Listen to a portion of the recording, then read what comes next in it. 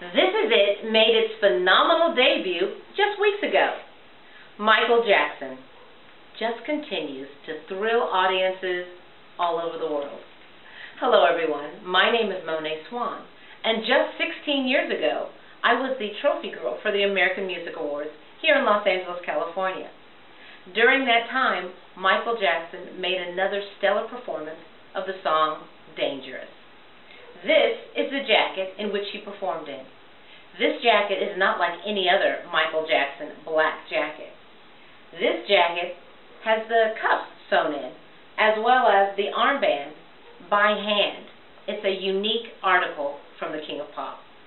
If you're interested in purchasing this article and showing it to the world, please contact me at Mone Swann, the number 7, at gmail.com. It won't last long, and I won't be putting it in any auction house. So if you are interested, please contact me directly, and I do have letters of authenticity for you to review. Thank you for your time, and I look forward to hearing from you.